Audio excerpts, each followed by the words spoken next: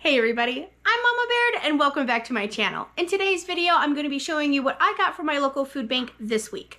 I like to go once a week for my family of five. It helps us to utilize food that normally would have gotten thrown out because a lot of this food is donated from grocery stores. If you're a working family who's living paycheck to paycheck and struggling, I hope you consider going to your local food bank as well because it's not just for the destitute.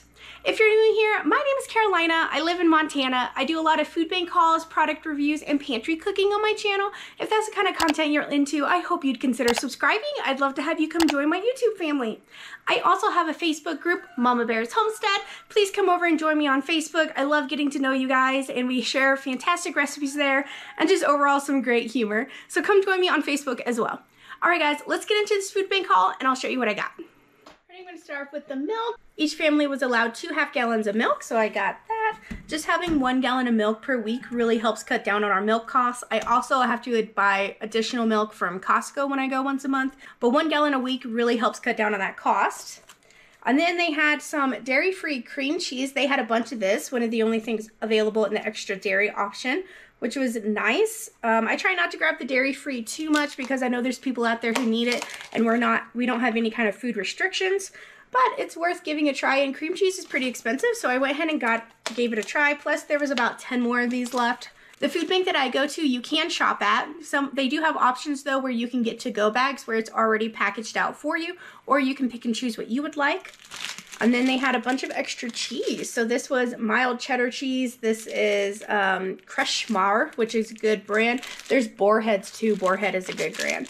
Brand. So this is $11.99 a pound for this cheese, which is that's a lot for cheese, $11.99. So I was happy to be able to get some sliced cheese for sandwiches, or maybe we can make something out of this. We don't necessarily have to use it as sliced cheese.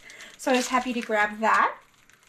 And then for my frozen, I was able to get one choice, one protein, and I picked a T-bone ribeye steak. They also had whole turkeys, which was another one I was debating because you got to have the freezer space to have a whole turkey.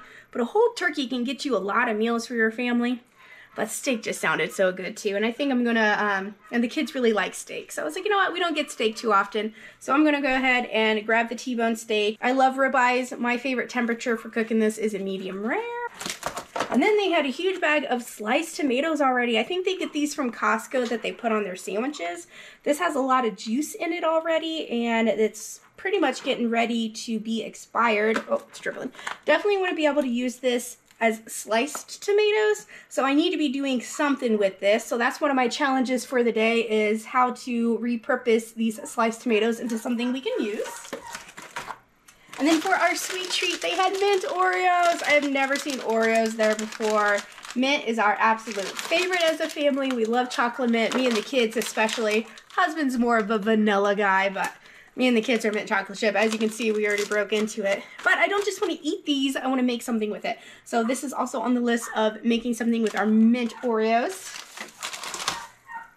And then for the produce, every family was allowed half a bag of potatoes Guys, calm down. So excited about these potatoes. Look at the size of this thing. You hear my turkey in the back. Frosting! She's getting mad at me. Look at this. That's a huge potato. So I got some big, half a bag of potatoes. And then every family is allowed a whole bag of produce. So I grabbed one thing of lettuce here. They didn't have too many um, that looked too good, but I grabbed one here. This is definitely something we could put on sandwiches or shred and use with tacos. And then before I saw the giant thing of tomatoes, I also grabbed just like three tomatoes, not too many. Betty Jan likes to eat these. She'll have this as a snack. Um, or we can use it. I was thinking maybe like a salad with that. And then they had giant sweet potatoes too. Oh, what's with the giant potatoes this week? So I also grabbed two big sweet potatoes. These are probably about two servings each. And then an onion. Always nice to have an onion on hand. And then they also had bananas, so I grabbed bananas. Oh, and blueberries. I had these, sorry, in the fridge too. And blueberries, they have a couple of squished ones, so I need to go through and pick them out. But the kids love blueberries, so we're to pick those out, and the kids are just to eat those fresh. And then some bananas here. Every family got a pack of raisins. Every family also got a bag of apples, in addition to all the produce that you could pick out. They had dog food and cat food, so I grabbed one bag of dog food for our dog Jack. He's not very picky about the food, so that's nice. And then in the pasta, I grabbed one bag of elbow macaroni. And then we are allowed to get uh, three drinks. So I got, for the kids, I got them tiki punch. These lots of sugar in these ones 39 grams of sugar in one can so this will be when dad does on duty i'll give him these right and then i got a jar of sauerkraut always nice. I love sauerkraut it's really good for your gut. Plus you can reuse this jar. I like to water bath in these. And then they had some extra fun things so i got some googly eyes that the kids and the next time we decorate cookies or something that'll be fun to have some googly eyes and then they had this giant organic thing of, of protein. This is strawberry and cream. I have the chocolate one that I've gotten from there before, but I haven't had the strawberry one. I've been actually wanting to have some protein drinks in the morning because I just don't eat in the morning. I just drink coffee, and I know that's not healthy. So this you can mix with water or almond milk, or I can even do 1% milk and then have myself some low calorie, low sugar protein in the morning to help get my body going without eating a lot. And then every family got 10 pounds of flour, so that's great to have. And now I'm gonna go over what kind of bread I got. They had lots of bread this week, so it was unlimited. Take whatever you could use. So I got a big loaf of sandwich bread here. Onion hamburger buns. I love the onion ones. They make really good for like sloppy joes or even egg salad goes really well on them. And then we had a couple of bagels, blueberry, mini cinnamon raisin. And then I got a thing of hot dog buns as well.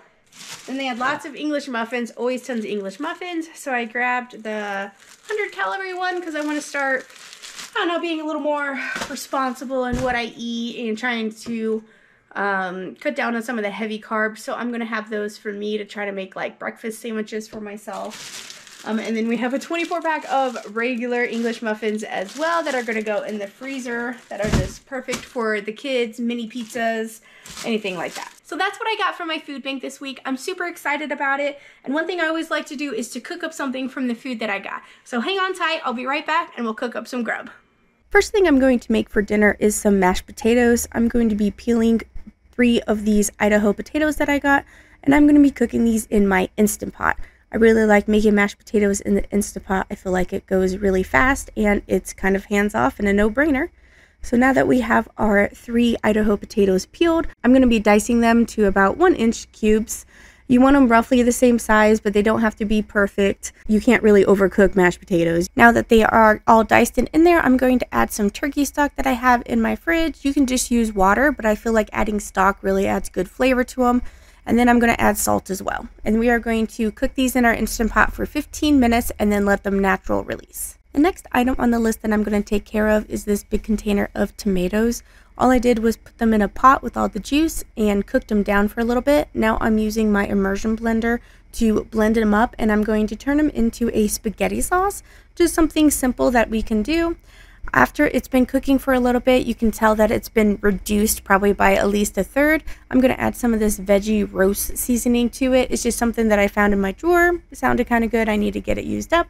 And then you always have to have Italian seasoning in spaghetti sauce, in my opinion. So I have dried here and I'm going to put it in my hand and crush it up. I feel like that helps release the oil and the flavor of it and then we are going to give that a mix. I'm going to taste it along the way to make sure that it's up to where I want it to taste, especially with just plain tomatoes. You really got to add some flavor in there. So I'm putting some salt and then I'm going to put some fresh ground pepper in there. I gave it another taste and it was okay, but it needed a little bit more. I saw these diced onions that I have that I'm trying to use up as well. So I'm threw some of those in there, a little bit more salt, and I just wanted those to rehydrate and kind of give it some flavor. Onion and spaghetti goes really well together. And then it needed a little more Italian seasoning. So I put some of that in there as well, and it turned out really well. I'm super happy with it, and it's something that we're not going to use this time, but I'm going to store it for a meal later on in the week. Now let's turn our attention onto this steak. I have some blackened seasoning. This is like Cajun seasoning. I really like this. It's my favorite kind of seasoning to put on a steak. Now this I'm going to cook for the whole family and then I'm just going to divvy it up between everybody. Honestly, Gideon ended up eating most of it. I don't know where that kid puts it. I have olive oil in this pan over here and I wanted to make sure that it's nice and hot so that pan is hot when I put that steak down. And while that steak is cooking, we're going to come back over here to the mashed potatoes. These are done in the Instant Pot. They sat for about 30 minutes in there. That's kind of the nice thing about the Instant Pot is they can sit and wait if you need them to. And then I added some butter and I'm going to add about a third of the container of this cream cheese that we received. Other good creamy options to add to mashed potatoes would be Greek yogurt or you could do sour cream. You could add half and half. I added salt when I cooked the potatoes so the only seasoning that I added to this was some cracked ground pepper. And then I did add some of our 1% milk because it does seem a little dry. If you make mashed potatoes with Idaho potatoes, they do tend to absorb the moisture more than if you were to use red or yellow potatoes. And let's give it a try, and I think it tastes fantastic. So potatoes are done. Now let's go over and flip our steak.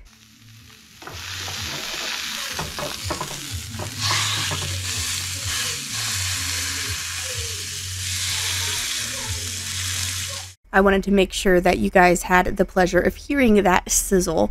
Nothing better than a sizzling steak. I'm turning it on its side here to try and get some of those fat caps cooked a little bit. Now, if you don't want your steak to get this dark on the outside, some of this is because of the blackened seasoning. Other of it is because of the caramelization. So if you don't like it that dark, you can always put your steak in the oven and that would finish cooking it as well.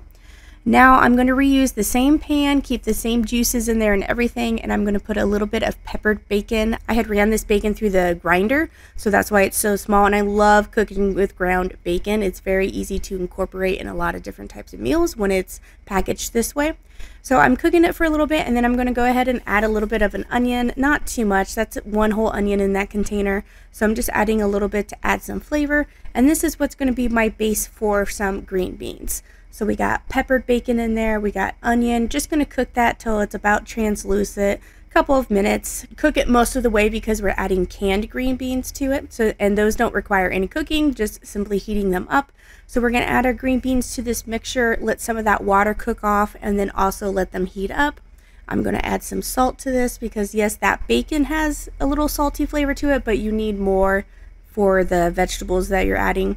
And then I'm going to add some Worcestershire sauce. It's absolutely my favorite thing to add, and I think it goes fantastic with green beans. And that's all it takes is to whip up a side of green beans. So while the green beans are cooking and cooling and, and doing their thing, we're going to come over here and cut this steak now that it's rested for a little bit. I'm trying to cut as close to the bone as I can, and you can see it is running more on the rare than the medium rare side but that's just the part that's closest to the bone and I can I ended up slicing that and then reheating it in the pan later. Husband got home later this day anyway, so that worked out to be able to reheat it and cook it more medium well for him. But this bigger piece didn't turn out too bad. It has some spots that were a little more mid-rare, but a lot of it was medium to medium well, which is perfect for husband and the kids. This whole side ended up going to the kids though. I just diced it up and I split it up between the three. So the kids had steak with ketchup, mashed potatoes, and green beans for dinner. Now let's give it a try. Wow, my kids are getting a feast tonight. Ribeye steak, green beans with bacon, and mashed potatoes. Nothing fills your tummy better.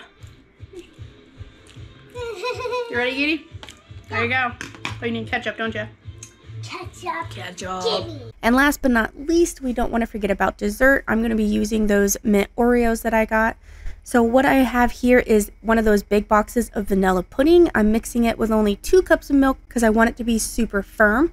And then we're going to take roughly three cups of crushed Oreos. I didn't really measure, I just kind of grabbed a quart size bag and I filled it up. And then what we're going to do is you're going to take out all your frustration. You're going to think of an ex partner and you're going to break them up just like they broke up with you and they broke your heart. You're going to beat them and you're going to break it all up, break it up, break it up, break it up. Give it to your kids, whatever, get out your frustration, get those Oreos broke up. I'm going to add a little bit of green food coloring, but you don't have to add that if food coloring is not your jam. Totally understand that, and it's just as delicious without that. Now we're going to add a tub of Cool Whip, and then we are going to add our crushed Oreos on top of that. I'm going to mix all this up just till it's nice and incorporated. You can add extra mint extract if you need to. I felt like it was unnecessary. You could also whip up heavy whipping cream if you don't have Cool Whip. Looks pretty good. It's not quite super duper green because the Oreos, no, the Oreos made it a little darker. I think it looks pretty good though, pretty green. You can always add more or you could just skip the food coloring altogether if you're not into food coloring. Um, let's give it a try though.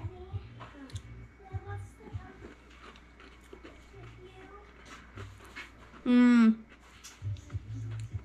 You could always add mint extract if you wanted a little mintier. I think that tastes great though.